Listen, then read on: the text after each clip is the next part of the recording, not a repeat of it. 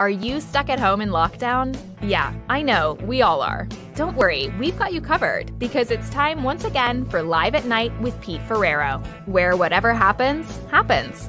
Here's your host, Pete Ferriero. They must be like the life of the party. You- Okay, here we are. This is exciting. This is uh, a few weeks later, but uh, we are here with Sam Cutler and Deborah.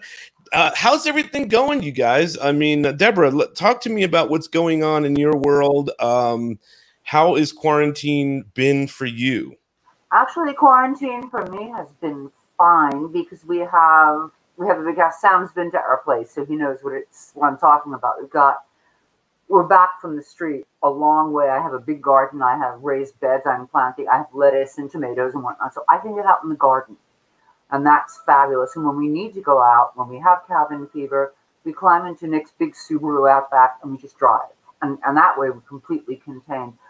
Um, the only downside of all this, of course, and we have a second CD coming out. The Soundfield second CD is in, in final mastering and mixing. Oh yeah, let's go do a live show somewhere. Not on this planet. There's nowhere. Right. Yeah. So you know, it'll we'll do we'll do an online. We'll we'll we'll do a, a kickoff show, just the three of us, and broadcast it and do something and do That's that. cool. But yeah, lots of music, lots of playing my ouds, playing my guitars, playing my Bhagavad Masaz, and just writing lyrics and poetry and stuff. Now, Sam, you're not in America. You're in you're, you're in Sydney, Australia, right? What's Yeah. quarantine like? Talk about how it's different there than it is here. We were just talking a little Well, I mean, I, I, I mean, I only know, you know, anecdotally what it's like in America. I mean, I think difference. I, I think it's the same the whole world over. You know, it's the rich what gets the pleasure. It's the poor that gets the blame. It's the same the whole world over. Ain't it all a bleeding shame? I mean, we're locked in our houses, either you know by um, you know acquiescence, or I mean, in in in Melbourne right now here, they've got a secondary outbreak. They're actually people are imprisoned in tower blocks. You know, in Hmm. um, in government housing. You know, a shocking situation for them, uh, and I'm have my doubts about it, but the government insists that that's the way for dealing with it. We've been very fortunate in that the government, miraculously, because I'm not a great supporter of the Australian government, uh, jumped on the situation very early. People went for it. People isolated very early. So we've had very, you know, relatively speaking, very few deaths. I mean, I would say this about the whole coronavirus thing. I think, broadly speaking, this is a crash generalization, but what can we do but generalize? Um, you know, the people that are most at risk from this are people like me who have pre existing conditions, Yeah.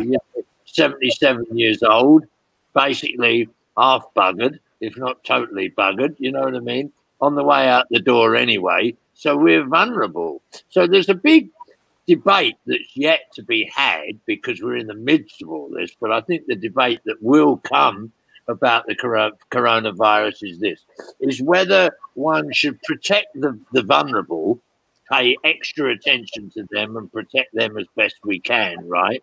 And um, and allow the herd, as it were, the mass of people to get it. Of course, if you look at the figures, you know, although millions of people, you know, have, have suffered from the coronavirus, millions of people haven't died from it. So Right. not everyone dies from it, but the, nonetheless, there are experiments going on, and this all seems to me, in many ways, to be a vast experiment. Sweden, for example, hasn't Oh, come on. the same. Don't Hey, go there. Deborah, can I say something? Let me say what I'm Here we saying. go. You know what I mean? You, you can say what you're going to say. I'll say what I'm going to say. Thank you. Mm, There are different ways of approaching this. No one way is necessarily the correct way. Already, the virus that we're dealing with is mutating and becoming something else. Different uh, groups of uh, the human race are being um, affected by it. So I'm not sure that any one way is necessarily the correct way. All I can say is that the, the difference between Australia and America is quite patently obvious if one looks at the figures. the crisis in crisis in America, at least in if it's measured in terms of deaths, is infinitely greater than it seems to be in Australia. But this could all be somewhat illusionary, you know. Sure. Um, oh, um, I've lost my foster brother to it. He died. He was only 61. You know, he wasn't an old man. He was fit and he was healthy. We were, nobody could be more surprised than uh, me and the rest of the family that that happened. Uh, I've lost half a dozen friends around the world to it. So, you know, I also yesterday, just on a site, we're on Facebook, so I'll say this, right? Yesterday, for the first time, I decided I would go through my Facebook friends list, and I've been on Facebook eight or nine years, and delete people that I know knew known had died, right? Yeah. So I, and I counted the number of people while I did it. So that was 127 people. Wow. So people, yeah, people die from God knows what, you know, all kinds of stuff. And uh, I'm going to die. Everyone's going to die. That's the one thing that puts us all together. Um, so you know, we do the, uh, the the best we can, like America is. I've got lots of dear friends in America who are doing the best they can, and lots of people in America who don't happen to be friends of mine. But it seems that there are lots of people in America who are refusing to take this seriously Yeah. serious. So here we are. We're lucky to be in Amer- in uh, Australia. We're lucky to be in America. We Sure. all each each group of people, you know, deals with it. It's a, it's a bit like some people like fish, some people like the Grateful Dead, some people can't stand either of them. Uh, some Sure. people only love the Rolling Stones. Who knows? You know what I mean? Yeah. It's almost like a subjective thing, isn't it? Anyway, I'll shut up. I didn't mean to. Real- Real quick, in terms of the coronavirus, and we're going to get into this. This will be Yeah. a good one. What what's what's scarier, the the coronavirus or Altamont? Ha ha. Well, I, I wasn't particularly scared at Altamont. There you go. But, you know, I mean, Altamont is simple, and it's like the coronavirus in this respect. It absolutely depended where you were in Mm. that site. Lots of people for years have said to me, "Man, I don't know what all the fucking fuss was about. Man, I was on the hill. We had a good time. We were all cool. We could, all we could see was the music kept stopping, and there was some kind of bullshit going on down the front. We were miles away. We were up on the hill. Everything was cool. Yeah. So it depended where you were. And The in life, perspective. Yeah. is yeah, isn't that isn't that life in a nutshell? It fucking depends where you are, man. You know what I mean?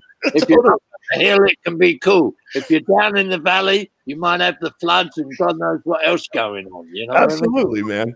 Wait, so so before we came on, you were talking about. Sorry, Deborah. Before we came on, we were talking a little bit about uh, how you came into this Stones world. That was in '68. You started hanging around them. How does that happen for you?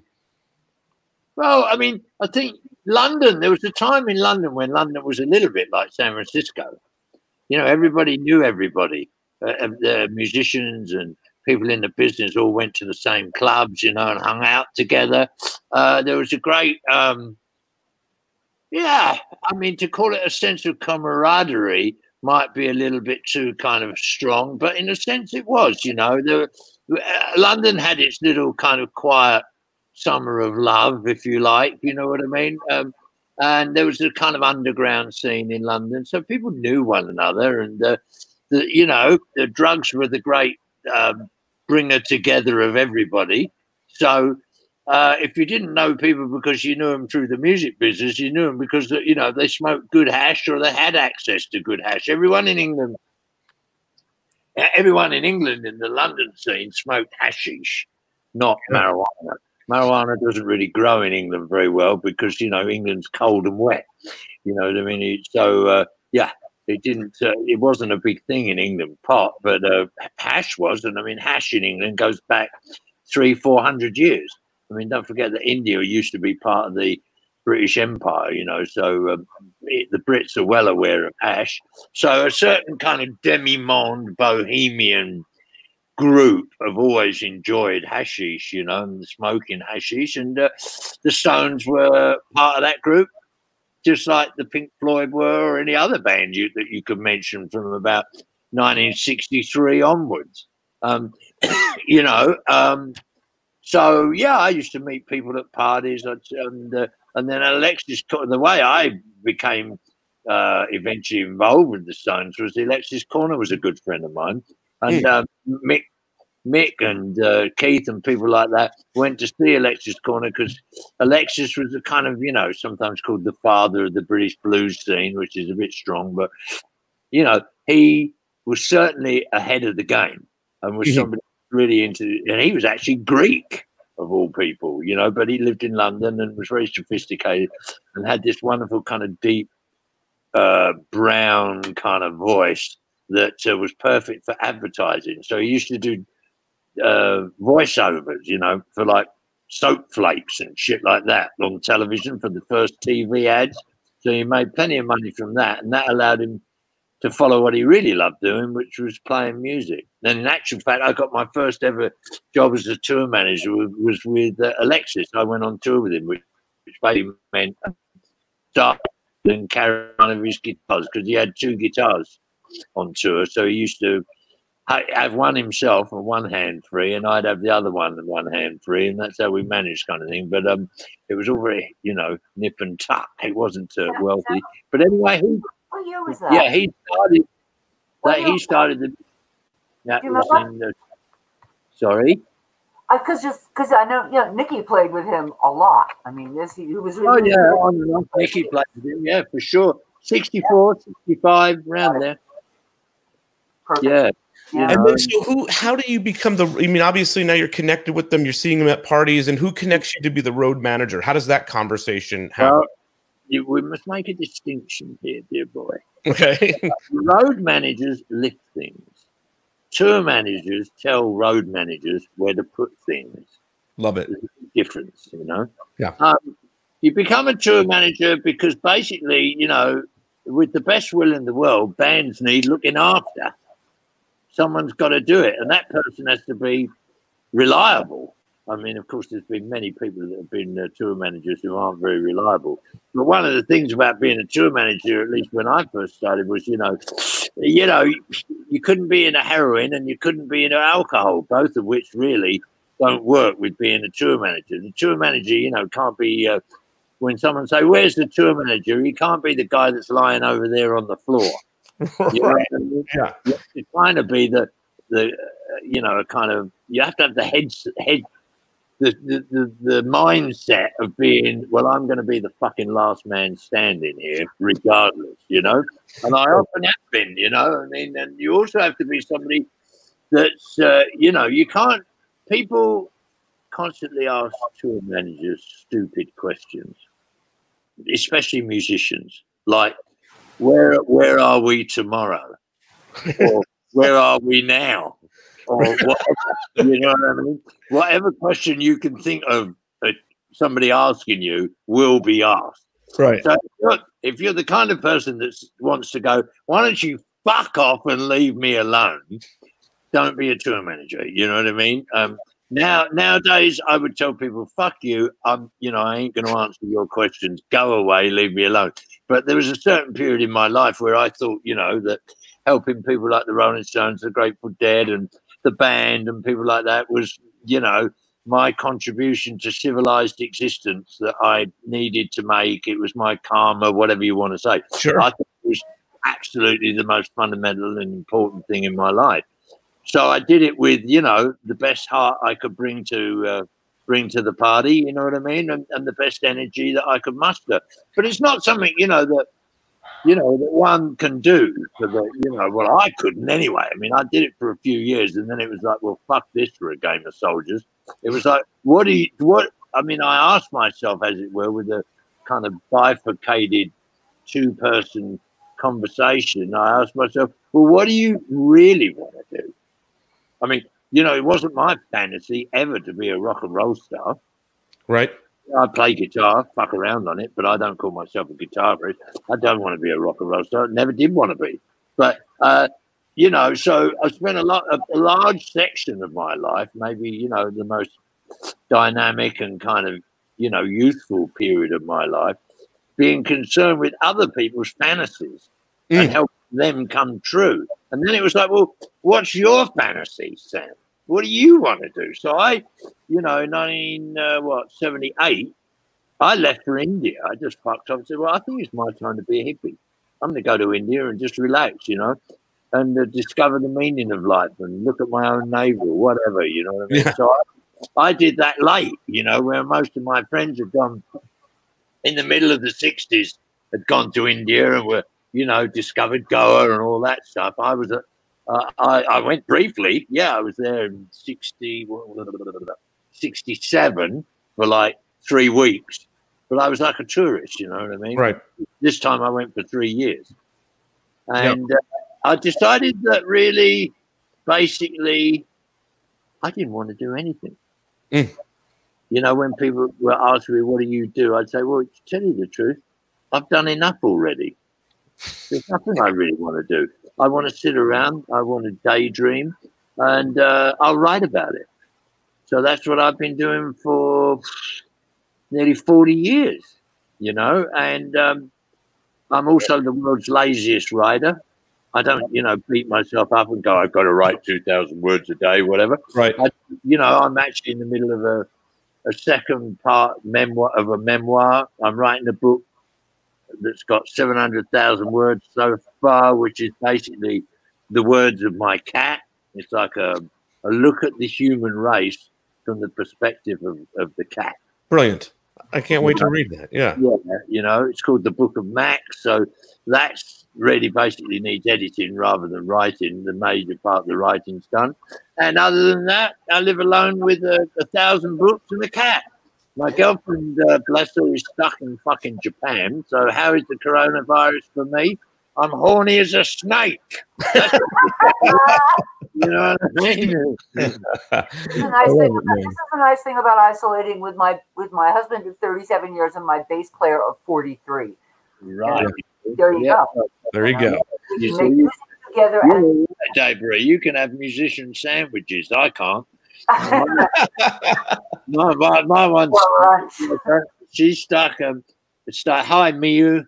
I think about you, darling. She's stuck looking after her grandmother, who's senile, the poor old thing, and she went back to to um, Japan just to see her for a bit and got stuck there. Boom.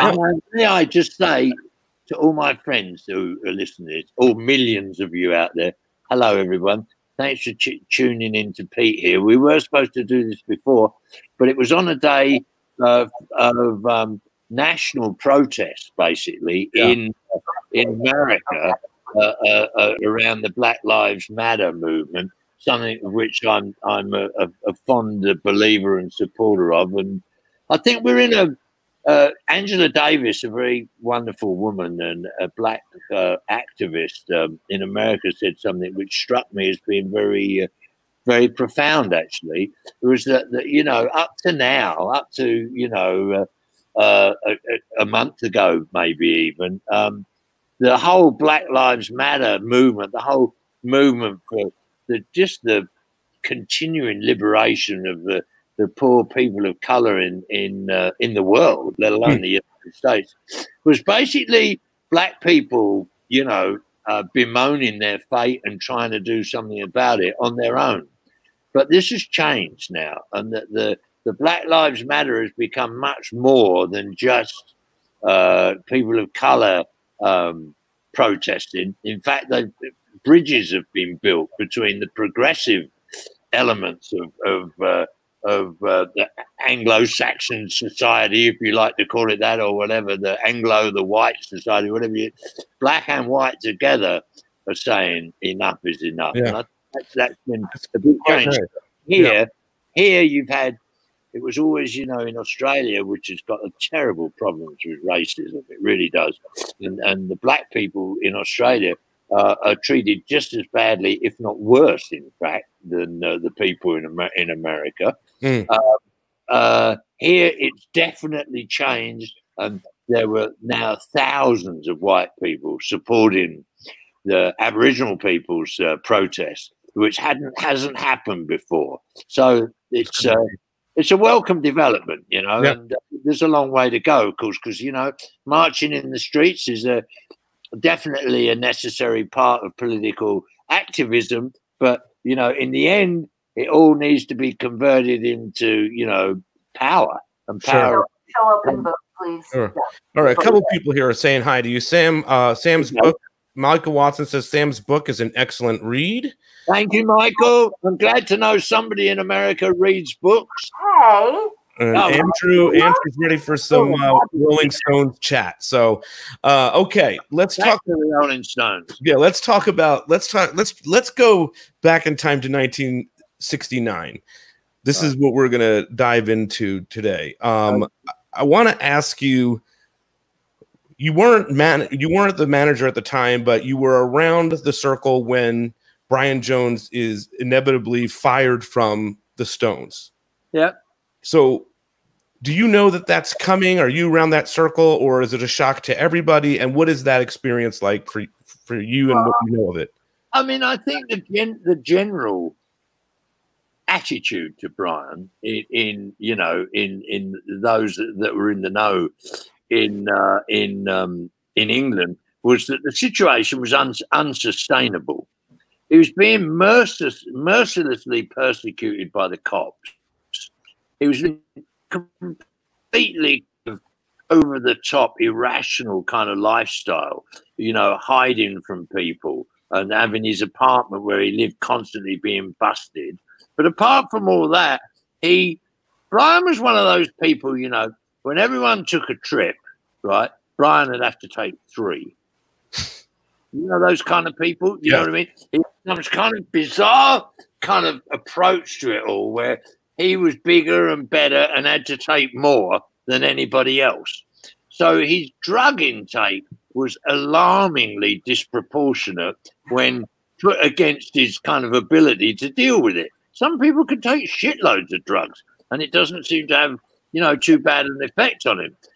Given his being persecuted by the cops and given the fact that Mick and Keith were sick to death of him, you know, because hmm. for start Brian didn't write any songs, not that we know of anyway. He was a brilliant musician individually, but that kind of went out of the window as his, you know, desire and, and, and passion for it all kind of waned.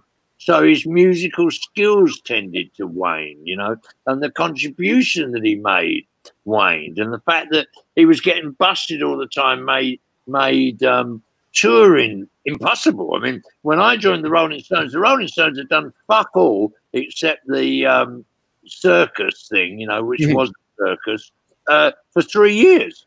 They were desperate to play, you know. It, it- although they don't play that often, the Rolling Stones are essentially, like the Grateful Dead, a live band. That's where they shine, you know. That's where the guys get off doing that.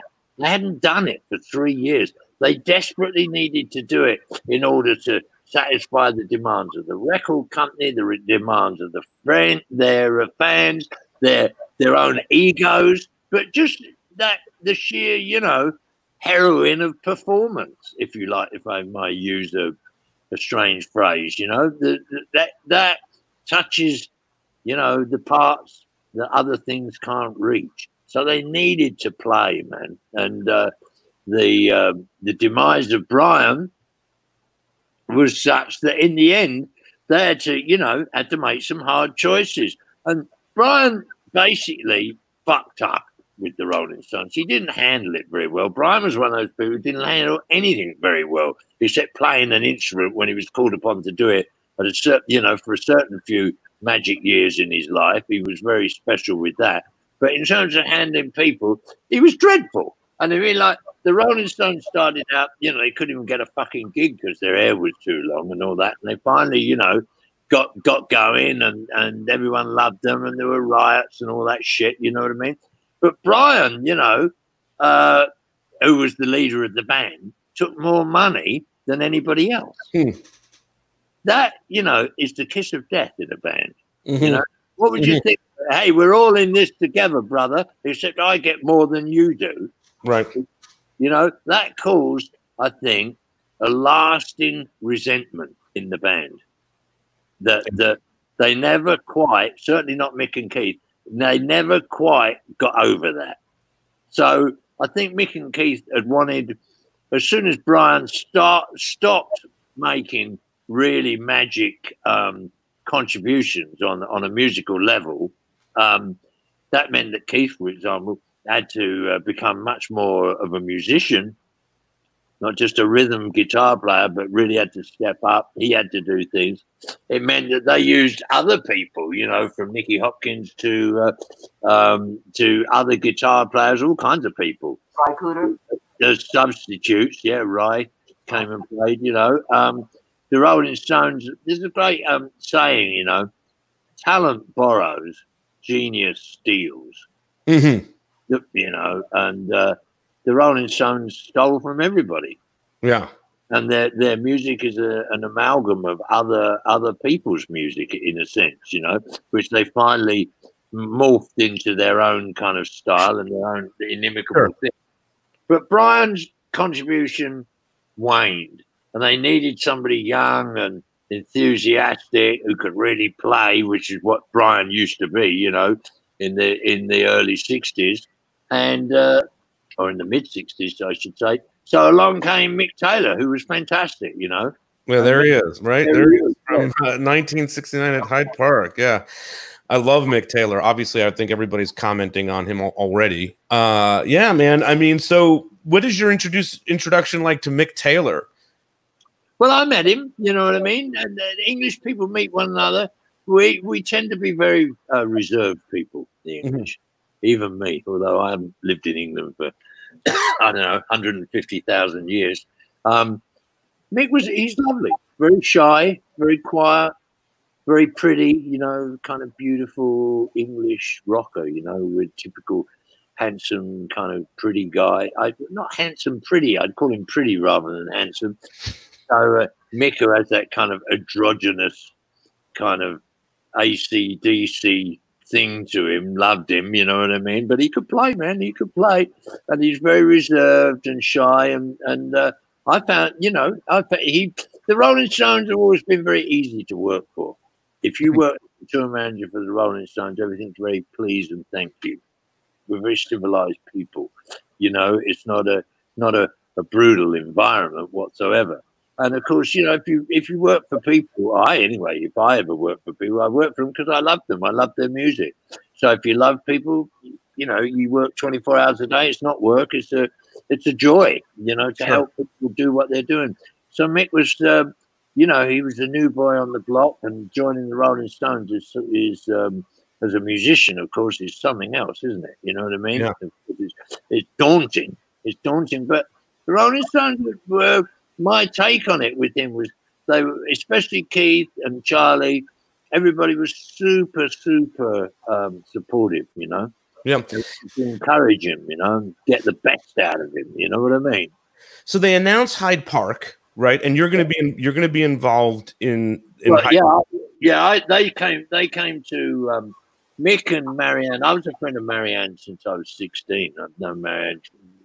My parents knew her father. Da da da da, da all that stuff. Uh, we knew each one one another from way back. Uh, Mick and Marianne came to the Blind Faith concert in Hyde Park, and 150,000 people at it. And Mick was very curious about it. You know how it was organised, what the deal was, all that shit. You know what I mean? The, Right. the nuts and bolts of it all. So we talked there, and that's when he began to think we should do this. That we should do a show in Hyde, Hyde Park, Park show. Yeah. mhm. and that use that as the introduction of our new guitar player. And the Stones, you know, needed to play, man. You know what I mean? They needed to play in front of people. They knew they'd got fucking hundreds of thousands of fans in England. No one had seen them. Yeah. So- no. Yeah. Yeah. So Mick's idea, Mick was a Mick's a clever guy, you know. Mick's idea was we'll do a show and uh, we'll get basically we'll get um, uh, Granada, which was a London television production company, to put the costs up for the show, you know, to build a decent stage, etc., etc., etc. So I did all that, you know, that legwork.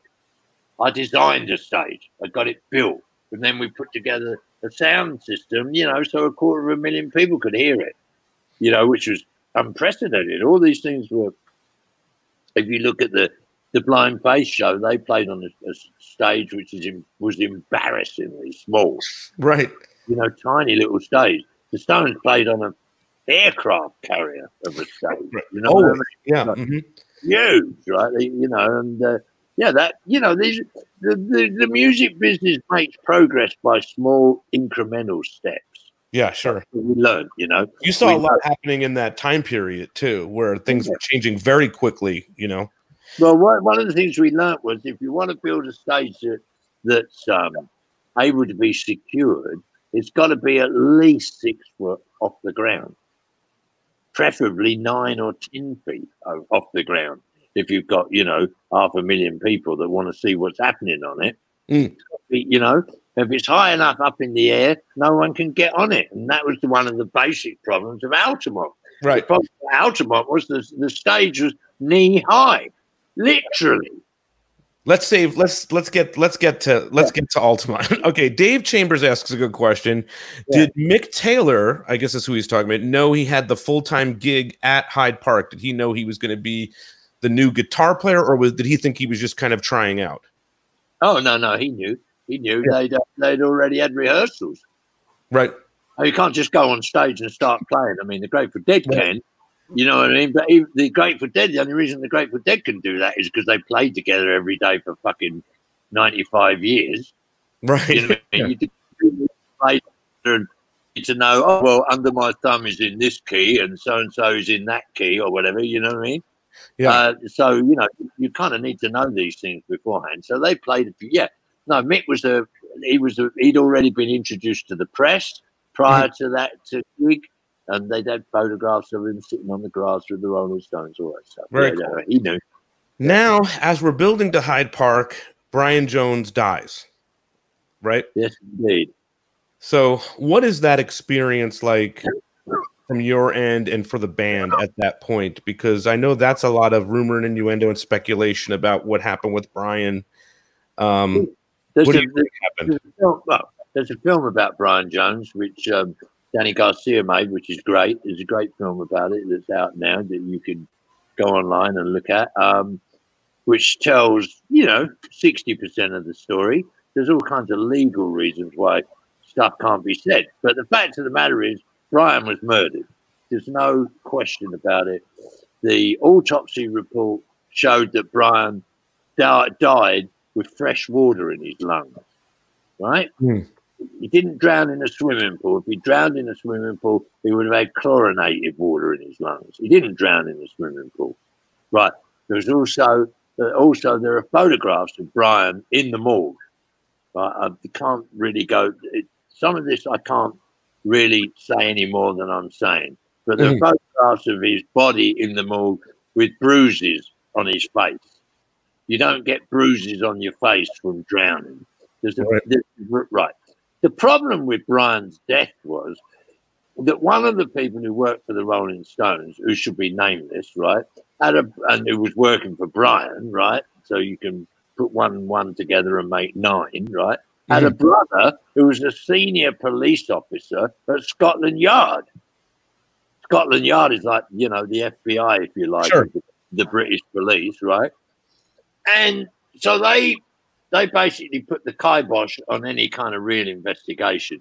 But something that everyone should try and think about here and remember about Brian's death is this. Nobody sympathized with Brian. Mm. The only people that sympathized with Brian were the people who loved the Rolling Stones, who, believe me, in 1969 were a small minority of the population of Great Britain, and just about 50% of them, if not more, came to the show in Hyde Park as a sign of, you know, support for Brian. The aristocracy in Britain, the middle classes, the kind of people like Brian's father, right? Mm. They all basically thought that Brian deserved it. And working class people thought he was just a, you know, this weird kind of kind of regency pimp. Who knows what they thought about him? But nobody really sympathized with the way he was. You know, Brian was Sure. way way ahead of his time. So the newspapers basically presented it all as, oh well, you know, if you behave like some regency fop, you know what I mean, and you take drugs, this is what happens to you. Look at that. Isn't this, you know, this is like karma, isn't it? You know, uh, multi-millionaire rock star drowns in, in his own swimming pool. Of course, serves him bloody right, behaving Hmm. like fucking disgraceful. You know what I mean? That's what they said in the clubs and pubs of England. So there was no natural sympathy for him, like say if you take the death of Prince, for example, Sure. America, as an example. You know what I mean? You, I think you could say, broadly speaking, there was a lot of sympathy for, for Prince. Yes, well loved. And Yeah. well loved, and people were horrified by it.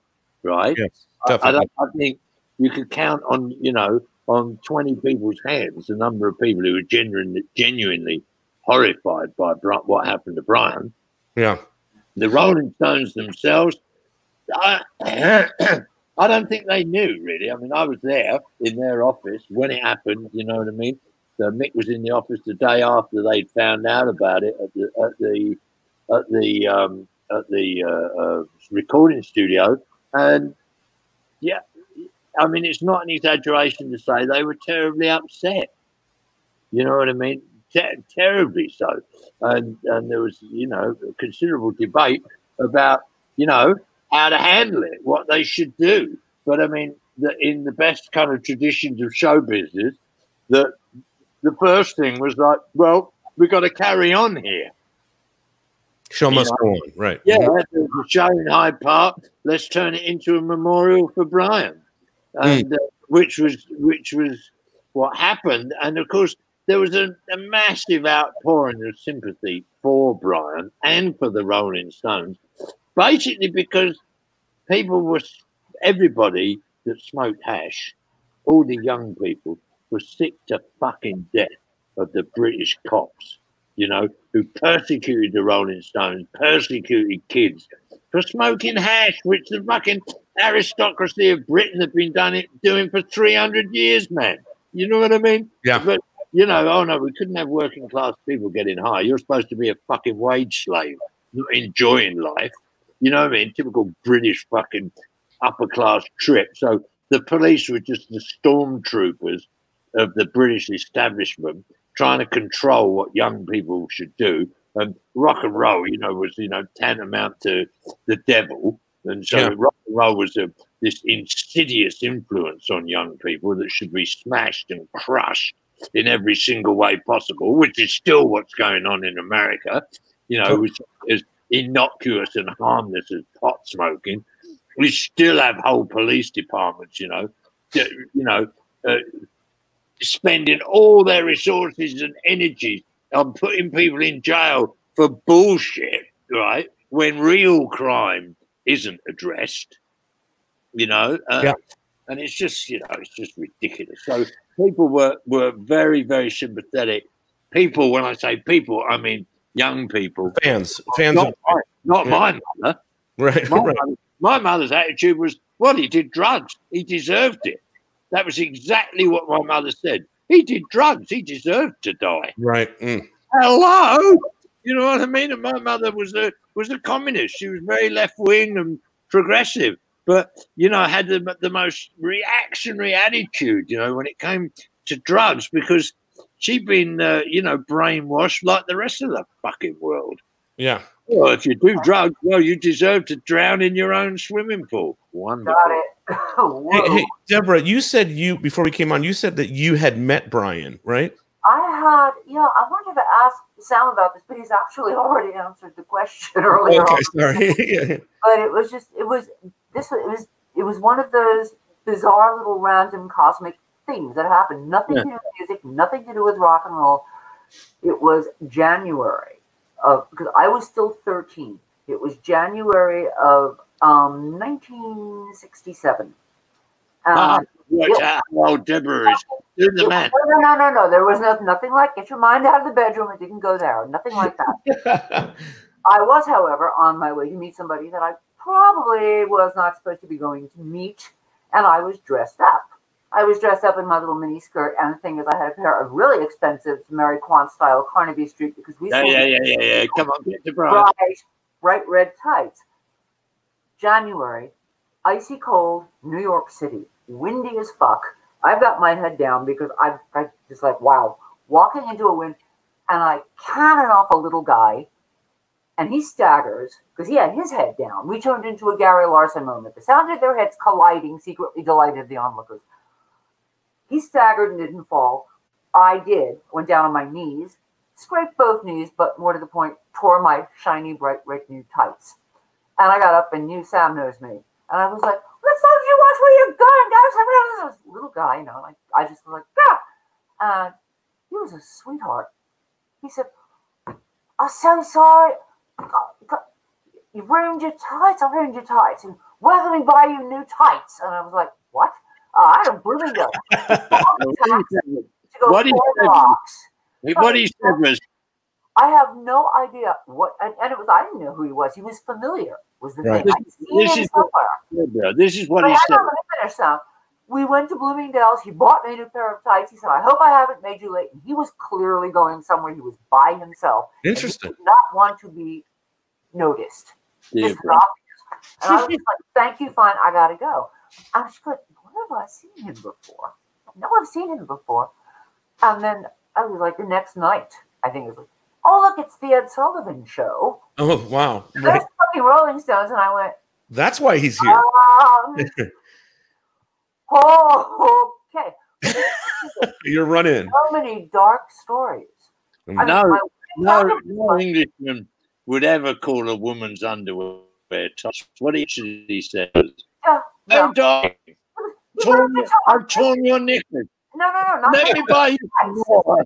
I'm just, I'm just teasing you, Deborah. I'm just teasing. I just the thing is, is the sound. This is this was for me. This has been a dichotomy for years because so much dark shit came out about him.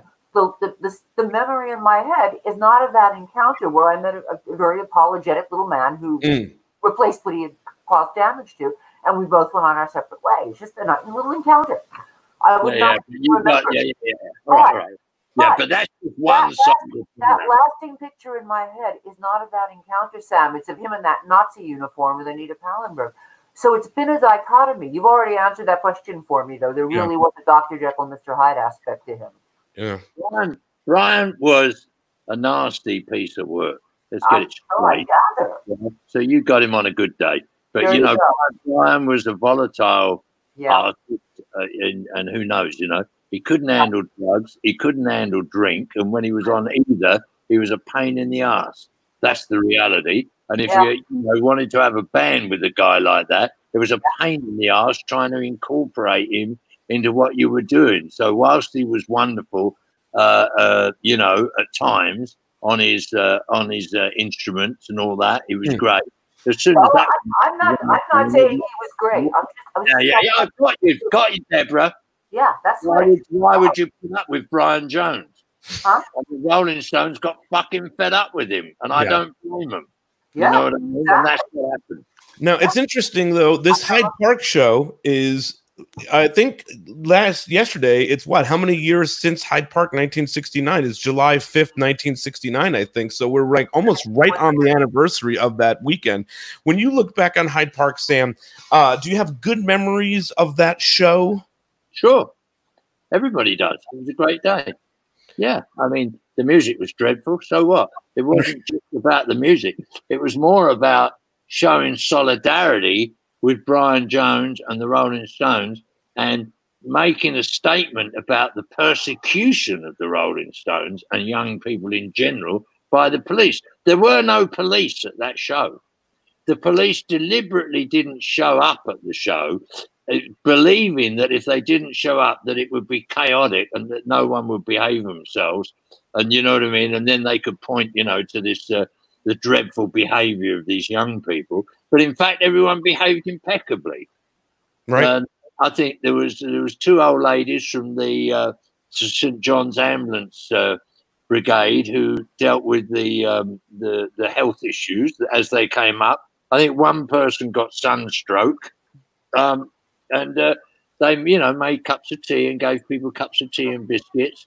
Nobody got injured. Um, no babies were born. Nobody was killed. Um, it was a lovely day. Everyone was stoned and uh, enjoyed themselves, you know. And as I say, there was that symbolic thing of, you know, supporting the Stones and showing Yeah. that that you know this was an important moment for the counterculture in England.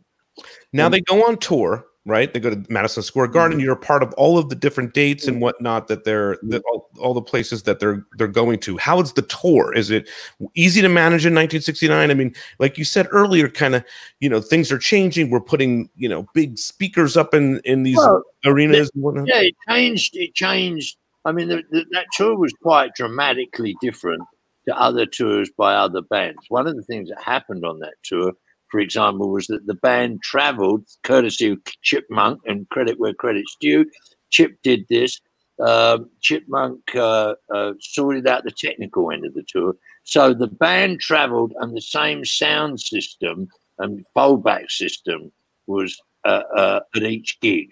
This was completely a new experience. What most people did uh, in rock and roll terms in those days was play in, uh, you know, converted cinemas or whatever, and play through whatever sound system happened to be there. Usually dreadful, and they, you know, they couldn't hear themselves anyway. I mean, Bill Wyman told me that the Rolling Stones used to play in cinemas, and the, you know, the gigs would last, or, or small or smaller auditoriums the gig would last 15, 20 minutes. There'd be a huge riot, and that was the end of it.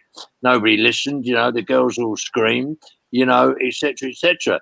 This tour was totally different insofar as, and it freaked out the Rolling Stones to begin with.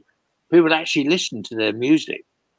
So the the first gig uh, the Rolling Stones did was woefully untogether. It was shit, and um, in fact, I I we were going to that gig in Colorado, if I remember, yeah, and um, and uh, we're flying to the gig. They suddenly realised they that everything was together and all that, but they didn't have uh, anyone to introduce the band. So Mick said, "Oh, oh, Sam will do it. You'll do it, won't you, Sam?" I said, "Yeah, sure. I don't give a fuck. You know what I mean? I'll do it." Right. problem. And then it was like, oh, what am I going to say? And I, you know, in the midst of doing everything else, I didn't re- re- really even think about it, except for, you know, like two seconds before everybody was ready to go on stage. And I had to run out there and say something. So I ran out going, yeah, the greatest rock and roll band in the world, the Rolling Stones, blah, blah, blah, blah, blah, blah, blah. Everyone went fucking nuts. The band played. It was dreadful, but nobody gave a fuck anyway. Right. Mick came off, and they and I used to be on the side of the stage, you know, rescuing young girls from Mick and all that shit, you know, as they jumped up on stage or whatever. And he said, "I want to talk to you." And we went in the dressing room on our own, and he looked at me and said, "You know, really angry." "For fuck's sake, man." Don't introduce the band like that. now. it's embarrassing. The greatest rock and roll band in the world. Please, you know. And I looked at him and said, Well, either you fucking are or you ain't. You know what I mean? And one thing for fucking sure, you weren't the greatest rock and roll band in the world tonight, were you? right. Which he, you know, absolutely agreed. So the next thing they did was they went into rehearsal for two weeks. And they got the got the uh, set of um, they shoot horses, don't they? That film. So it still had like a Chinese lanterns and everything hanging on the Warner Brothers in Warner Brothers uh, out at Burbank. Fucking huge thing. Set up the whole stage, and uh, yeah, they did a, what the Rolling Stones call rehearsal. So the rehearsal would be called for three o'clock in the afternoon, and Keith and Mick would finally get there about eight o'clock, literally, you know, and uh, yeah, then uh, they played for a few hours, and they finally got it all together, and uh, that's one of the things about the Rolling Stones and, and about great bands. Great bands, great bands just don't go on stage and it's perfect. There's this kind of frailty to a Mm. great band. You can hear it coming together in front of your eyes or your ears, kind of thing. You know what I mean? And and it's the same with the Stones. The Stones, you know, they start off and it definitely sounds a bit ragged, but you can hear everybody working hard to bring it together.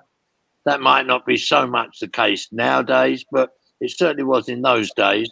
Uh, that the it was human, you know. It was uh, it was yeah, and it built to a crescendo, and and and yeah, some of the some of the earlier numbers in in a set would be a bit ragged, but slowly but surely, you know, the the thanks to Charlie and Mick and and uh, and uh, Bill in many ways, you know, the the rhythm section which was so solid, it would slowly build. Mick Taylor would grow in confidence. So by the end of that tour, yeah, they were playing brilliantly.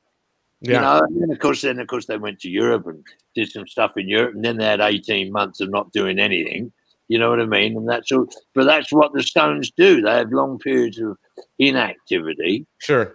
And then you know when they get back to going on the road again, then they've got to spend a lot of time getting it together and you know becoming as one, as it were. Now let's talk about the the Altamont debacle. Um, when do you first hear about the? Yeah, let's call it what it is: the Grateful Dead's free gig at Altamont, not the Rolling Stones free gig at Altamont. I've been telling people this for fucking fifty years. So, the, so how do you hear about this gig? How do you hear about it? I mean, what's your first inkling? Like, okay, we're going to be doing this. Would be great. Dead's going to be. dead. Rock, Rock Scully came to London and was introduced to Keith by Mick, Mick uh, by um, Chesley Millikin, dear friend of mine, right, and brother of mine, who was the former uh, head of Epic Records Europe. Introduced him him to uh, to Mick. I mean to Keith. Keith and Rock took acid, and they sat there. And Rock told Keith about the dream of the Grateful Dead, which was to play a free concert in San Francisco with the Rolling Stones. That's when that first ever came up, and that was in 1968. The Now, idea was When you heard that, you were like, "Oh, that sounds great. That sounds. That sounds yeah, like." well, why not? That, that- we like the idea. I like the idea. Sure, we done. I've done lots of free concerts. The Rolling Stones did a free concert in London. Uh, all kinds of people did. The Floyd did, all of which I was involved with. Why not? All sounded good to me. yeah. Great. So now this this now I have some clips from the Gimme Shelter movie here. This is this lawyer, right? This this this guy. That that prick. Yeah. yeah, but he's we see him uh, the fans first see here, you know, see him in this movie. Uh this guy's kind of organizing it. Are you dealing with him uh, much or not really? Mel Belli couldn't organise a piss up in a fucking brewery. He was he was a tort lawyer. He sued you for whatever you you know did that was wrong. He had you know he sued insurance companies on the part of victims. Like he knew nothing whatsoever about rock and roll. The Rolling Stones went to Mel Belli, not me, right? The management of the Rolling Stones went to Mel Belli because Mel Belli was presented as the most heavily connected lawyer in San Francisco. He represented the mafia. Mm. Right. I went to see Mel Belli, right? I was told to go and see Mel Belli because he had a site, right, that this, this show could be done on. So I went to see it. It was out near Corte Madera, right? A couple of thousand acres, if not more, owned by the Knights of Columbus. Got it? Yeah. Right. Yeah. It was owned by them. It had one road going into it, which was basically a farm track. It wasn't a road, it wasn't a surface road or anything. And it was hills in the hills of Marin. Totally unsuitable. Right. So when I went back to Mel Belli to talk to him about it, right, I said, Man, you can't put a rock and roll show on there. That's useless. Forget it, man. No way. There's no way you can access. People can't get in there. You can't drive cars in there. There's no way to park cars, etc., etc., etc. He just basically dismissed me. You know, he refused to believe that it couldn't be done. He was, um, and at that point, the guy that owned Altamont called his office, and he was, you know, the guy that owned Altamont didn't have a fucking clue either. You know, but he saw, he saw it as a golden opportunity, you know, to put his place on the map, right? and um, okay, so I was told, you know, I'd only been in San Francisco about four or five days, and it was, you know, it was all obviously chaotic. And uh, I was told uh, about Altamont being available and that we needed to check it out. So this is exactly what happened. I sent Michael Lang, the famous producer of Woodstock, right? Yes. Right.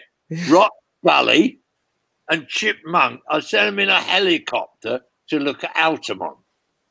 I never went there.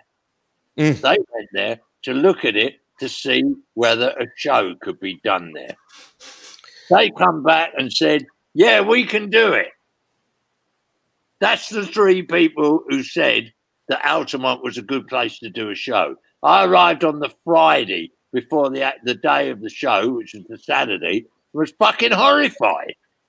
So when you got there on the Friday, you knew this is going to be a sh- this is going to not be what I thought it was going to be. No, I didn't know that at all. I knew that the second I fucking arrived there and saw where they put the stage. They put the stage at the bottom of a hill. Right. Yeah. Hello. Something we've learned at bitter cost in the music business.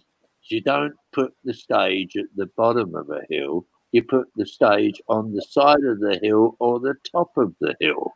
Hello. If you put it at the bottom of a hill, what happens is people push forward. Right. That's why you have crowd barriers in stadiums and shit. So people at the back don't crush the people in the front. Like, yeah, hello. Now, as a tour manager, though, you did the Hyde Park show, show and you've done a lot on this tour. So you know little things like this. You would think that the, the, the people from Woodstock well, I have a clue. Wood, Woodstock was one of the worst organized fucking gigs in the history of the music business. And you know who saved Woodstock? The white rednecks that lived in all the towns around Woodstock who sent fucking food there. Yeah, not that's right. Not hippies. The hippies were all taking acid and rolling in the fucking mud. There wasn't any water, there wasn't any toilets, and there wasn't any food. There was barely any food, any fucking music because people were getting shocked by the fucking uh, power supply. Mm. It was a complete disaster. Yeah. That's a disaster. The only thing that saved it was everyone was on acid and didn't care. Oh, let's take, yeah. let's all take our clothes off and roll in the mud and have fun. Right. But it was actually saved by local people who provided the food that fed those people at Woodstock because there was no food at Woodstock because the organisers couldn't have organised a piss up in a fucking brewery. And I know Michael Lang. I've known Michael Lang for for fucking fifty years, and he couldn't organ. He couldn't even organise the the Woodstock Memorial concert. That's true. Yeah. Right? Yeah, yeah, right. I mean, Michael's a good guy, and he he knows how to make babies. I'll give him that. He's got about nine kids. But other than that, yeah, really, please give us a break. So, you know, organize it, you know. My mother used to say, anyone can attack Russia, but you better have a good plan. yeah. Right. The essence, uh, the essence of all activities is a plan. When musicians play together, there's a plan involved. Right. It's called the structure of what it is that they're playing. You know what I mean? It's going to be in this chord. This is the chord progression. It's going to be in this key. These are the instruments. You know, this is the vocals. This is where the vocals come in. This is where this. You know, all things. All these things happen. Sure. You know, right? Well, the same with concerts. So anyway, these three guys, theoretically, the three guys that really know go and see Altamont and say it's great. Then Chip Monk takes the stage that was built for the almost the top of a hill out at Sears Point and puts it at Altamont mm. and puts it at the bottom of a hill. It took me 40 years to get that man to accept the responsibility for that. he did that. He did that. And he never stood up once to say it, and he hates me for saying it, and he hated me for pointing out that that was the fucking problem. That was the core problem. The Grateful, the, the Hells Angels were not the problem. I was going to ask you, who brings them into the fold, the Hell, the Hells Angels into the fold? Rock Scully and the Grateful Dead. Mm. Simple as that. But I've, I mean, let, let's get to that in a second. Okay. The Hells Angels weren't the problem. The people weren't the problem. The Rolling Stones weren't the problem. There was one core problem for the whole fucking thing was a stage that was barely, you know, a stage that was knee high that was put in the wrong place. Mm. That alone, if you'd had a fucking choir of angels on it, it wouldn't have mattered. That alone created the problems. Now, you can add to that shit drugs, sure. probably, probably distributed by, believe it or not, federal agents who were desperately trying to destroy the credibility of any rock and roll shows, major outdoor events, because one of the things at Woodstock that absolutely terrified them at Woodstock was a conjunction of interest between radical black groups and white hippies. And people were going around at Woodstock, right, with buckets collecting money for the Black Panthers. Right. Everyone forgets, man. America seems to have short memories. They killed Freddie Hampton, man. They shot him. The cops shot him 59 fucking times. And he's mm. the leader of the Chicago Panthers, right? They shot him 59 times. He didn't even have a gun. He was stark bollock naked in bed. Did anyone say anything about it? Did they? Fuck. So they were killing the Panthers, and people were raising money for the Panthers Defense Fund. There was the Students for the Democratic Society. You don't need a weatherman to know which way the wind blows. Right? They were raising money for them as well. So the radical left was terrifying the people in power. Who was in power? Nixon. Nixon. Yeah, all of them. Yeah. Yeah. And who was the fucking head of his of the uh, uh, uh, his attorney general?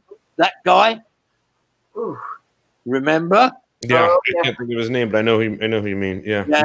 Terrible man. Terrible man. So I'm, you know, I went around uh, um, uh, Altamont on the night before the show, late at night. I walked around with Rex Jackson, actually, bless him, who's dead now. A wonderful man, dear friend of mine, brother from the Grateful Dead. There were people handing out, there people with jars full of uh, tablets, acid, giving out acid, bad acid, man. It was bad. So I, it's in subsequent, subsequently, I knew and know the three major acid tests on the West Bank. None of the acid that was distributed at Altamont was made by them. Mm. That's Owsley, Nick Sands, and someone who should be nameless. None of them made the acid.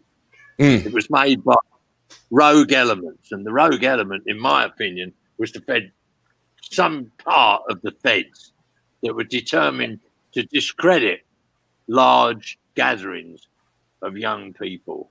They were And very also Yeah. the quantity, Sam, the quantity, the amount of those tablets, man, they were in like the hundreds of thousands. They were handing Yeah, out Mayonnaise jars full of those Yeah. things.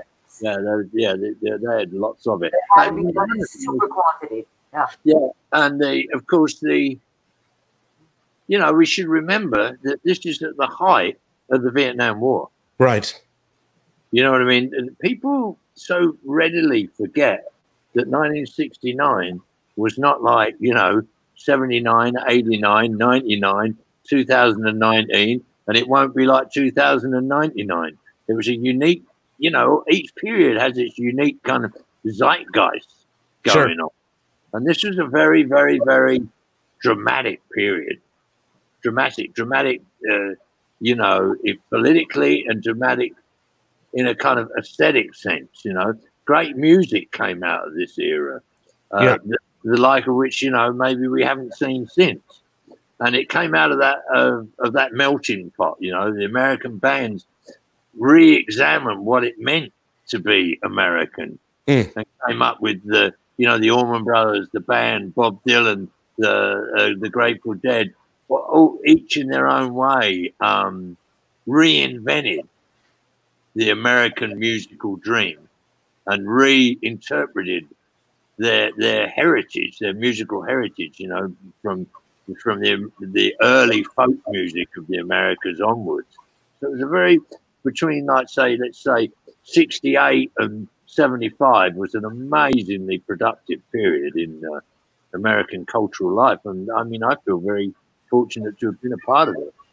Even the bad bits. Even the bad bits were good. I should call. I should call my next book, that. That's pretty good. So you you're you're on the ground now, and it's Altamont. It's day of. You have to know the the stage is in the wrong place. The stage is too you know it's so small or whatever. Mm-hmm. You have to know there's a million things that are wrong, and now you start seeing the, the bad assets out there. Then I'm going to show you a clip. This happened.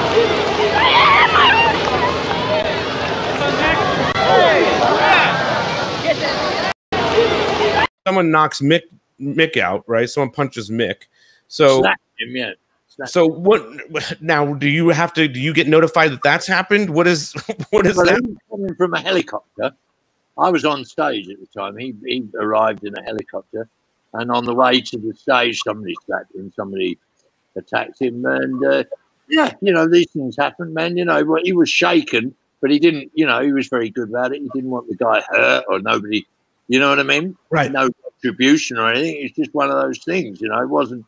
That wasn't the end of the world. There were much heavier things than Mick getting slapped. Believe me. Right, right. That just was the the, the kind of cold open to what's happening. Then Yeah. people then people are on s- scaffolds, and you have to make this announcement. The people that are hanging on that scaffolding, you're rendering that scaffold unsafe by climbing on it. Those scaffoldings are not built to take very heavy weights. So if we could have some sort of reason, whatever that might be, we'd be very pleased. So now you're talking to people and getting them off the scaffold. Yeah, I mean, it was. Look, you know, it's it's hard to convey to you Mm. the, the general sense of horror from an English perspective at the way people were behaving. People in England don't behave, or they didn't used to anyway, the way that people in America behave.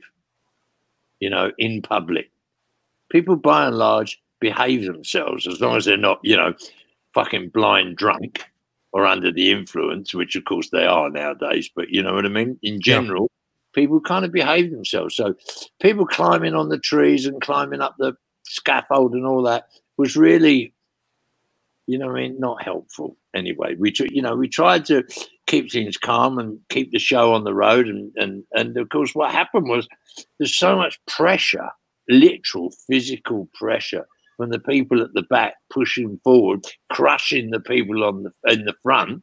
The people in the front have got nowhere to go to escape from the crush, except to basically get up on the stage, which they did. At sometimes, man, there was like 200 people on stage. It was just ridiculous Right. right? So constantly trying to, you know, clear the stage became an issue, and the only people who were vaguely together were the angels, you know, and they and the angels got fed up with it. They, you know, the angels aren't cops. You can say whatever you like about fucking Hell's Angels. They Sure. ain't cops. They ain't cops, man. You know what I mean? And so they tried the best they could, and they got fucking fed up with it. They didn't want to, you know, constantly throw people off stage. They didn't want to do nothing. They wanted to have a good time like everybody else. They like music. They like having fun. So you know what I mean? They didn't want to be cast in that fucking role. No. And then you know there were people who got there who had no idea about Hell's Angels, had no idea about rock and roll. That not they weren't you know San Francisco people. The people at Altamont came from all over America, let alone all over California. You know, and uh, most of the the the California people that I know knew of or met subsequently from San Francisco, they all went on. They all went and sat on the side of the hill. Hmm. They didn't want to be right down in front, in front of the fucking stage. No fucking way. They'd be about up on the hill. They're having a picnic, whatever, staying cool, getting high. You know, down the front was like young, young people from down the peninsula. You know, Right. San, from San Jose, man. You know, So- so it was like- It's it's escalating here, and now you know. I mean, at, this has got to be the worst day for a tour manager, right? I mean, there, there's this there's nothing that you can do that's going to get anything back on track. And here, I'll show you. One more, I'll show you one more clip here. Do we Yeah. want? Who wants to fight? Who is it?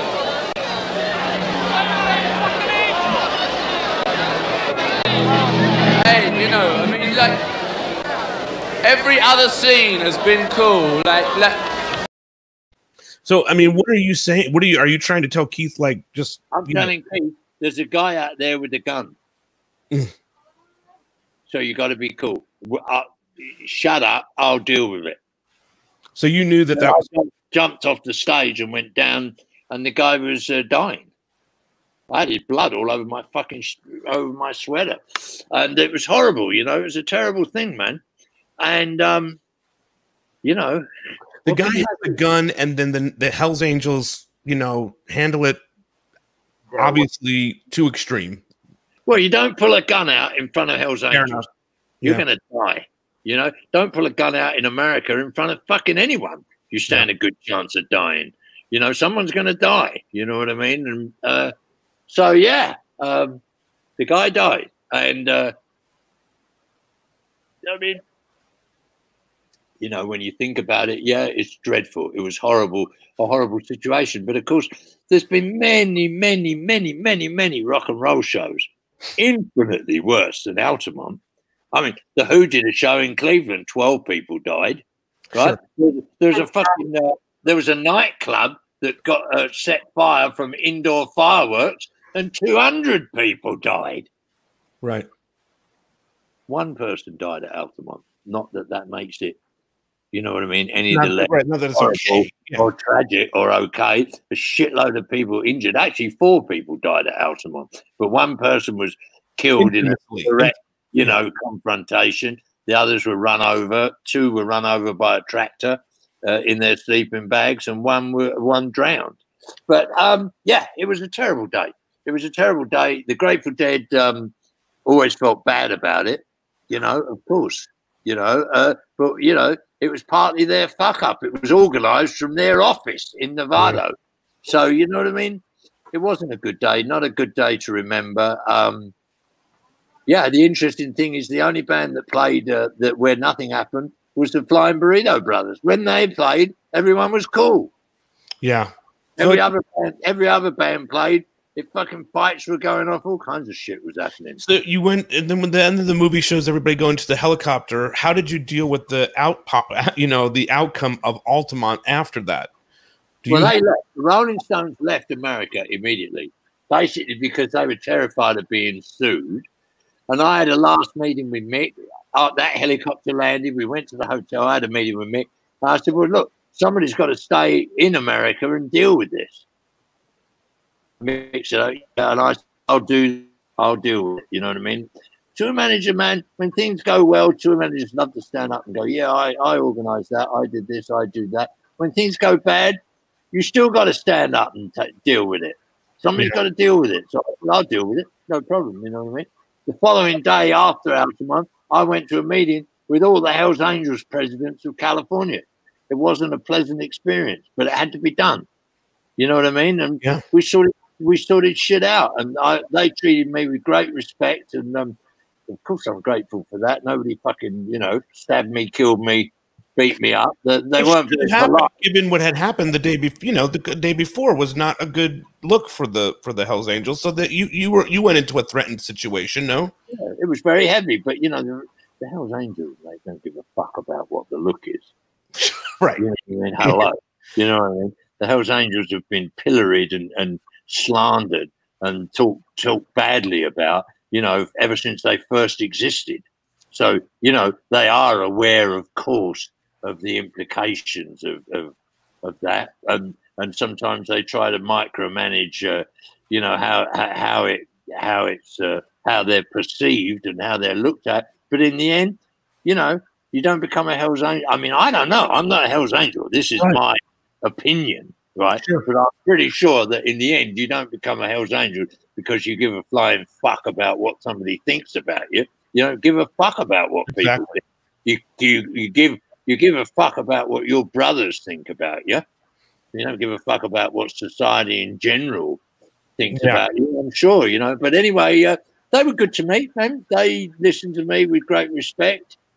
Uh, I think, you know what I mean. Uh, I interpret it as respect. I respected their position.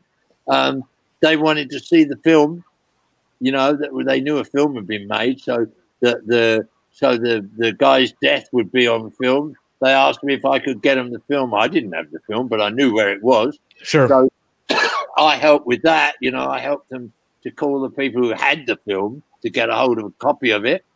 And ever since then, I've get, got to know members of the club, and they've always been very kind to me. I've always been treated them with respect. It's a kind of mutual thing, and uh, yeah, life goes on. You know, I mean, I'm not a big bad bikie. I've never pretended to be one, although I had a motorcycle. Yeah, I've had several, and uh, love them. But I'm not. That's not my thing. Uh, if people want to do that, that's that's their business. America's the land of the free. You want to be a Hell's Sure. Angel? Yeah, do do it, man. You know. So they were good to me, and I don't have any issues with them. I don't think the Rolling Stones do either, actually. Right. I think at this point now it's been so long, and I'm sure this, I'm sure the Stones have had other accidental deaths at their shows since then. Not not like this, you know. Everything. Everything, man. Everything. Fuck, there's been riots, there's people being killed, there's all kinds everything you can imagine. The Grateful Dead had people killed at their fucking gigs by security in New Right. Jersey. The Grateful Dead, of all people. Yeah, well, you know, that's because the Grateful Dead's management are a bunch of fucking dickheads who couldn't organise a piss up in a brewery. They didn't have, they didn't have a fucking anybody got killed when I looked after them. That's for fucking sure. And they certainly didn't have thuggish, you know, police like brutal, brutal security when I looked after them. No fucking way. When you compare the two, we started talking about Hyde Park. Yeah. Really amazing fucking Yeah. event, right? Compared to this Altamont show, Yeah. I think you could probably predict, say, when you got there and saw the stage and all this stuff, this might not be a great gig. But there's no way I think you could have predicted that that would have been what had happened, right? How do you, I- yeah. yeah. go on. Go on. I was gonna- I was going to ask you, uh, could you compare that, and how do you compare the two shows? I guess is what I was going to ask. Well, I mean, you could, you know, if you wanted to be simplistic, you could say the Hyde Park gig was a hashish gig. Sure. The uh, the the Altamont gig was a bad acid gig. Mm, The, you know, so there's a radical difference right there for anybody who's got high in their life would know know you know the implications of that.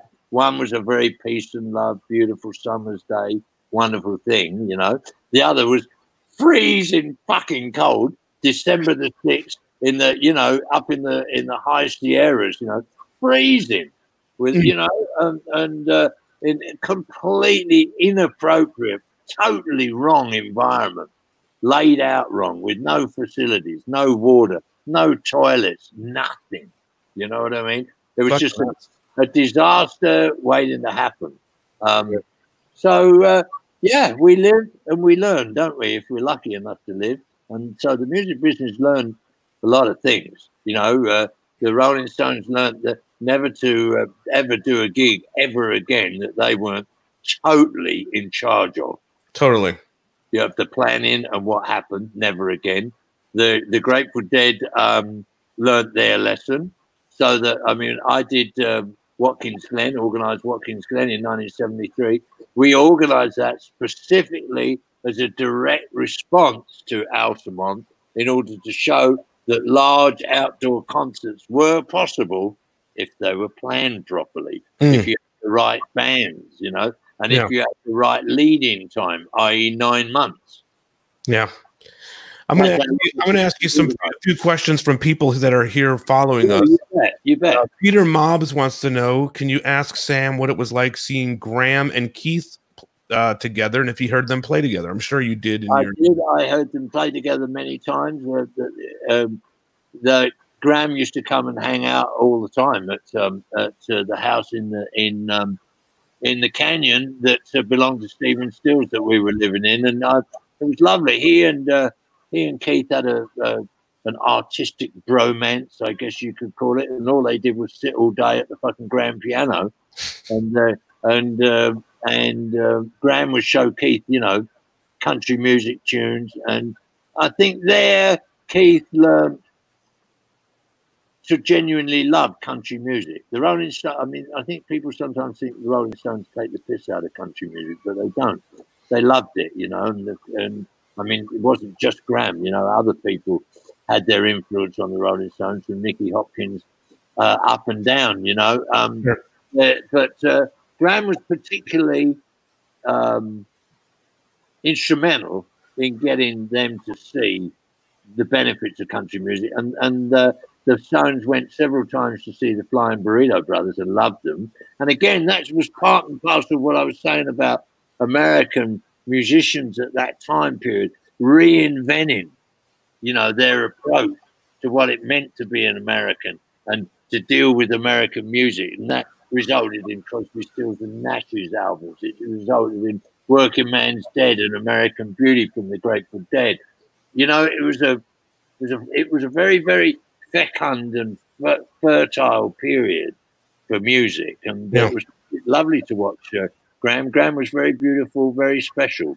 We all thought he was an amazing guy in those years. Handsome, beautiful guy that ran around on a on a Harley in uh, in uh, LA. He had a dream life. Karen wants to know uh, 69 tour was the tour they met Muddy Waters in person for the first time. Do you recall that? Did that happen? Um, I wasn't at that. No, no, they met Muddy Waters long before that because they met him at the Chess Studios.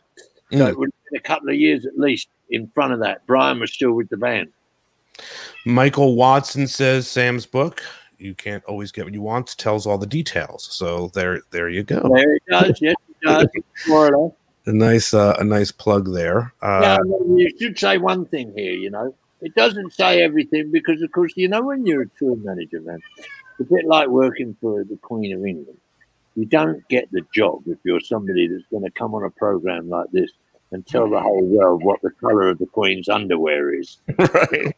Uh, Right. Sorry, you know what I mean? So there are, of course, several things, many things, in fact, that I know about the Rolling Stones. I know about the Grateful Dead and other people. Not not uh, Deborah. I should hasten to add here. will uh, will go to uh, go to my grave with me. You know, they're just they're not for public consumption. So my book tells I nine. want, I want to plug Sam here. Sam, Go ahead. Yeah. I- I'm, I'm praising you and complimenting you.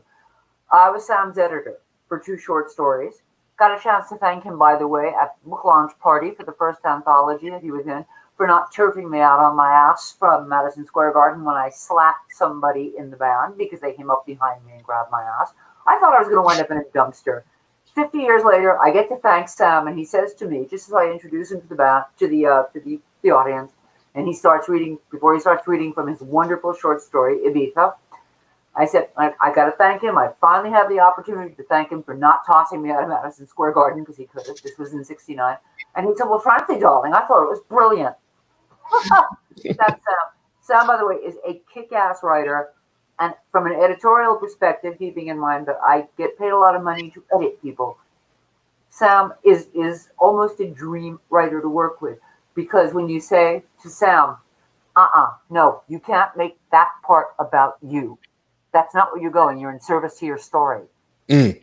I expected him to come back with what I call the yes, but response, which is always a defensive. And he went, oh, thank God for editors. And I was, thank you. I didn't see that.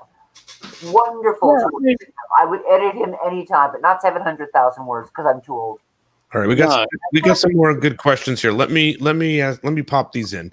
Jason wants to know if the whole Altamont show was filmed. I assume it was the documentary. Yeah, yeah, sure. It's all on. Uh, Gimme Shelter is obviously an edited version. Yeah. You can't, you know, include it all. But yeah, it was filmed. Uh, Katie wants to know if you can talk about shows that were exciting and not problematic.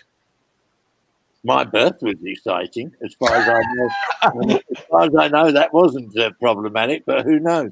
I, you know what I mean?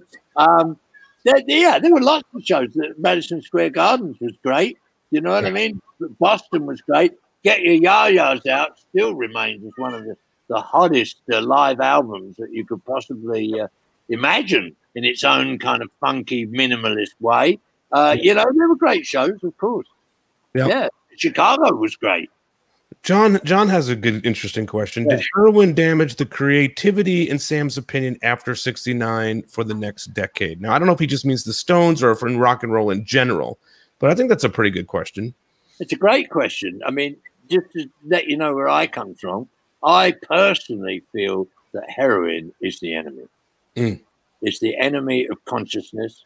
It, deve- it develops a certain form of consciousness and it develops a certain forms of creativity. And there's no doubt that lots of people who have been junkies have been amazing writers, for example, and no doubt amazing musicians.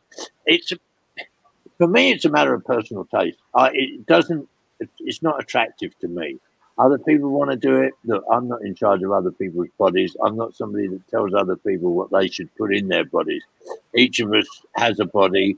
It's our own temple. We we deal with it as as we as we may. I think that after Exile on Main Street, the Rolling Stones music deteriorated somewhat. Yeah. I think that Keith wasn't helped by his long struggle with heroin, but um, you know he's such a, a marvelous uh, person. Um, I will say this: that Keith Richards is a wonderful person. I'll tell you a little story about Keith.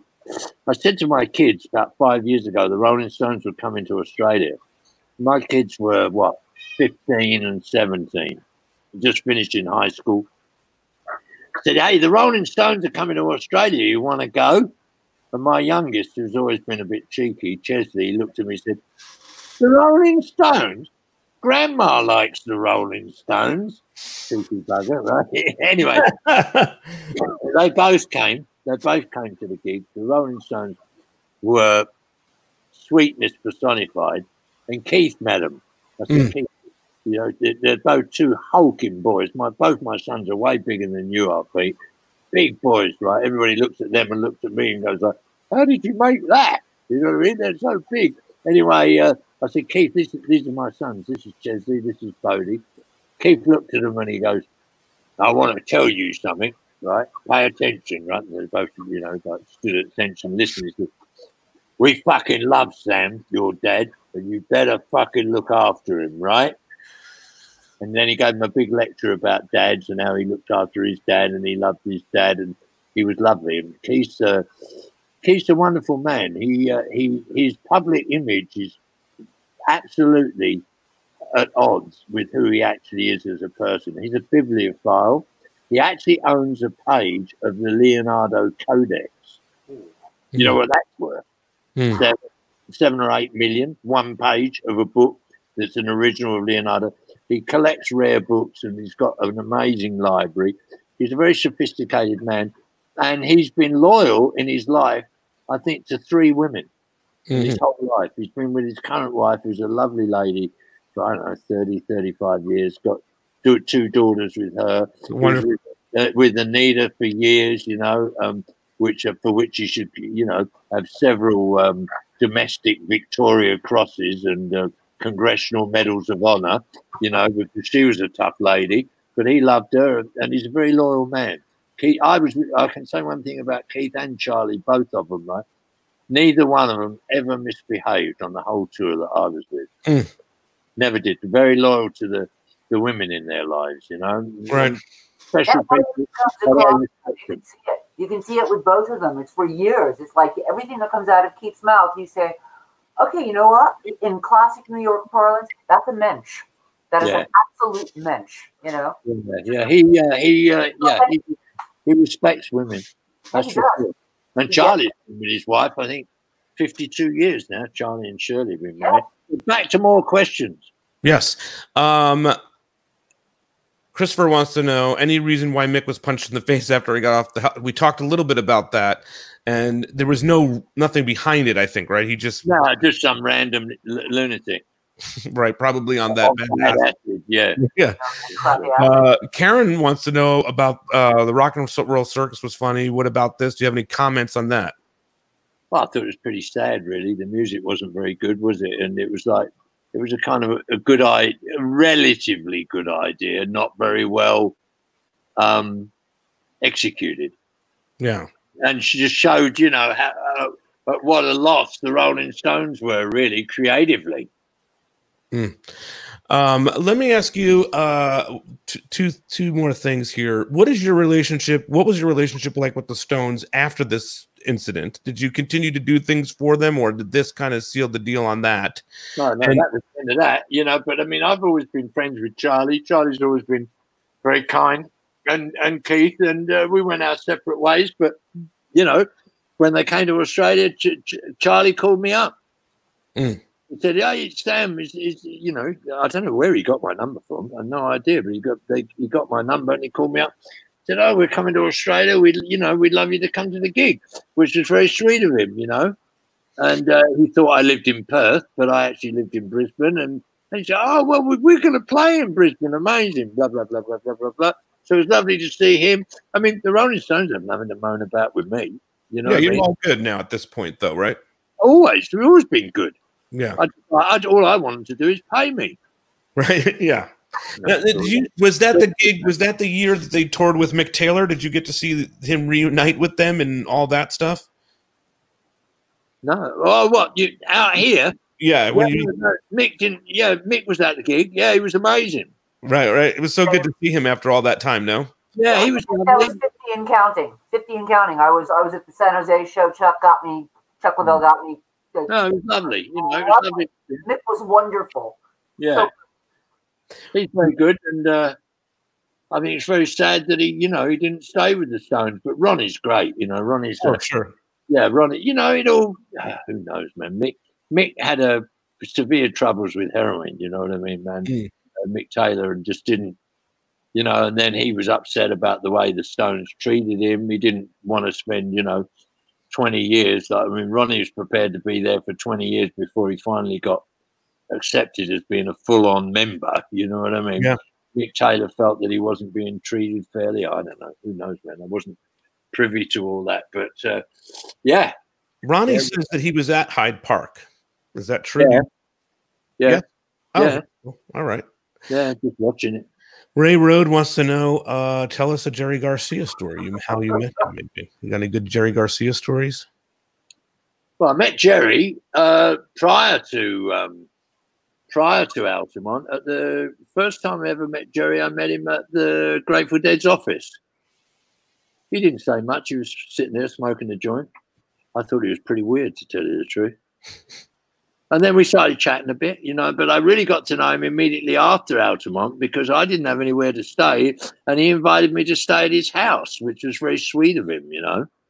Mhm. And that was kind of like, come in. He said, "I'll give you shelter from the storm," and that's where I, you know, he and I became firm friends, and we, you know, we just discovered a whole bunch of things that were amazing, like the fact that uh, both our grandmothers were called Tilly, which was Mm. fun, you know, and my uh, my mother worked for a trade union. My adopt this is my adoptive family. My adoptive mother was uh, worked for a trade union, the first trade union in the Western world that got equal pay for men and women. And and uh, Garcia's grandmother was an organizer for the laundry workers union in San Francisco. So we both came from kind of similar backgrounds, um, left wing, progressive, trade union kind of parents. You know what I mean, or parenting that environment. My mother was a communist. I mean, not that I'm any near being a communist. Um, I'm way to the left of communism. Um, but um, yeah, so we had something in common. And of course, you know, uh, immediately well, when Altamont had just happened, uh, Lenny Hart, the Reverend Lenny Hart, that good Christian gentleman, had just run off with uh, $350,000 worth of the Grateful Dead's money.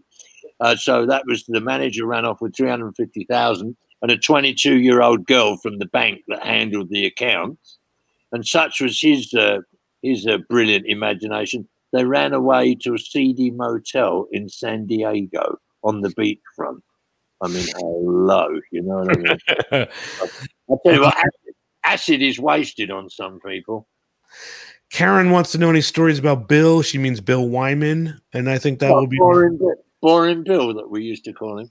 Bill, I've never known a man bonk more women in my life than Bill Wyman. Well, I he was bonking them. Put it like this: we used to call him Ten Minute Bill. Go for another one. There'd be all these girls outside the hotel, and Bill would just, yeah, oh, uh, Sam, see that girl in the blue coat there? Get her to come and have a drink. I go, Bill, come on, man. I mean, you know, I'm busy. No, no, no. Do, you know, go on. All right. So, yeah, he was insatiable, our Bill, and uh, he had it. He had great fun. Yeah, bless him. we could do this all night, but we'll let you end on this one. Uh, can Sam tell us about Janis? Well, Janis was beautiful. She was a lovely woman, man. And because when I lived with Jerry in um, in Larkspur in California, um, Marin County, uh, the- I think it was the second day I was there. I went for a walk down the street. It was this lovely street with all redwoods in it, very pretty, you know. Uh, what was it called? Ladrone Drive. Yeah, Yeah, yeah, yeah. yeah. And uh, I walked down the street and I saw Janis's. Um, um, uh, fuck, come on. I'm having an old timers moment here. This painted car of hers, right? Beautiful, uh, a Porsche, all painted, hand painted Porsche. I went, That's Janis's car. That's weird. And it was parked. It just was parked so it looked like it belonged to the person whose house it was. So I just went up and knocked on the door. Janet opened the door. It's Sam Cutler, Janet. Oh, well, I'm in the door, big hugs all around, you know.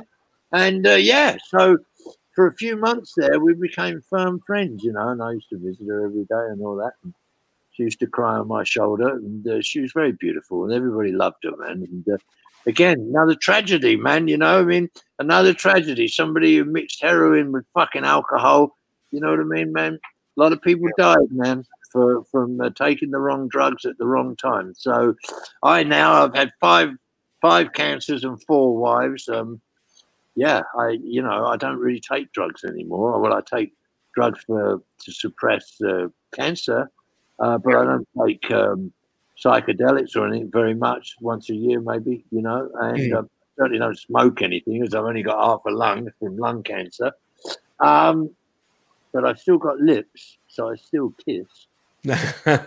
nice, man. Thank, it's been nice to talk to you and to Yeah, Deborah. man. I appreciate you so much Uh, coming on, Deborah. You as well, Deborah. Do you want to? Is there any music that people can get uh, right now uh, by you that you know? Oh, Send some people. yeah, well, the first, our first, our first CD was called the Bucket List for obvious reasons, and Sam will appreciate this. I went full circle on liner notes. I mean, I learned who a lot of people were because my father would show me liner notes. He was a musician. He'd go, "Look at this, check this out. Oh, it's Carlos Santana." Blah blah blah.